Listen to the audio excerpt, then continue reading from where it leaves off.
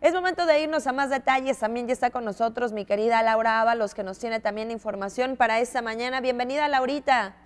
Hola, ¿qué tal, mi querida Rocío? Como siempre, es un gusto saludarte a ti y a todo nuestro auditorio. Y bueno, platicarte que el día de ayer se mantenía eh, pues en pausa y todavía en dudas la salida del presidente municipal de Yurecuaro del partido Movimiento Ciudadano. Sin embargo, pues bueno, ya se dio a conocer de manera formal por parte de la dirigencia a cargo de Antonio Carreño Sosa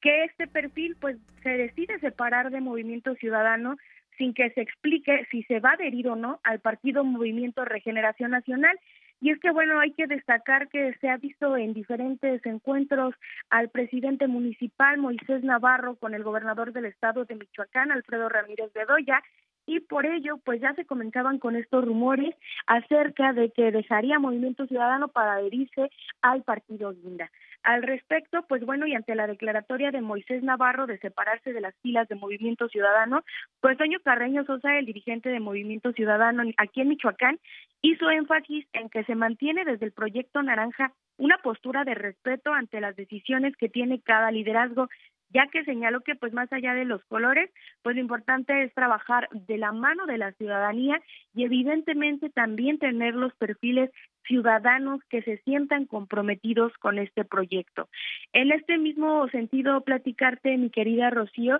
que bueno, Moisés Navarro era también el coordinador de los seis alcaldes del Partido Naranja aquí en la entidad michoacana y ante pues su salida ocupará esta coordinación quien se encontraba como vicecoordinador el alcalde de Angangueo Gerardo Sánchez Sánchez y bueno en este sentido Toño Carreño dijo que tiene confianza y que también pues va a llevar a cabo de buena manera esta encomienda. Eh, señalarte que también, bueno, el dirigente de Movimiento Ciudadano eh, confía en que todavía los alcaldes que son emanados de este partido se sostendrán en esta fuerza política y que, bueno, este, no se den más salidas hacia otros partidos y que también quienes estén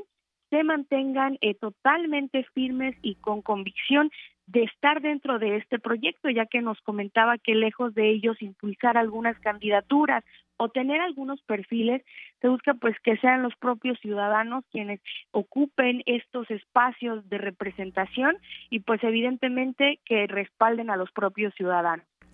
y que esa situación ya se esperaba que ocurriera, mi querida Laurita, pues ya había algunas especulaciones y pues ya fue exactamente el día de ayer donde ya se dio a conocer, pues ahora sí, de manera oficial y confirmada ya la salida de Moisés Navarro del partido y pues quedará ahora frente a esta coordinación de alcaldes de Movimiento Ciudadano y pues ya esperemos a ver qué pasa con esta situación que sabemos que se vuelve complicado de pronto estar al frente de algunos municipios, sobre todo que han tenido complicaciones y donde se pone incluso en riesgo la integridad de los propios eh, pues dirigentes. Sí, en temas de seguridad, eh, Toño Carreño hacía énfasis en que no han tenido alguna situación mayor, sin embargo, pues es bien conocido eh, los temas de Tierra Caliente, la Sierra Costa y que evidentemente se tienen que tener previsiones en estas zonas del Estado, Sabes que bueno, los movimientos que están eh, ya realizándose durante este 2023 también obedecen un poco al periodo electoral que tendrá en el 2024, ya que pues hay que recordar son más de 200 candidaturas eh, pues a nivel nacional las que se van a estar eh, pues compitiendo y evidentemente pues Morena es uno de los partidos favoritos según las últimas encuestas por tal motivo también Juan Pablo Celis aseguraba que se mantienen con los brazos abiertos para cualquier eh, pues funcionario o ciudadano que busque adherirse a esta fila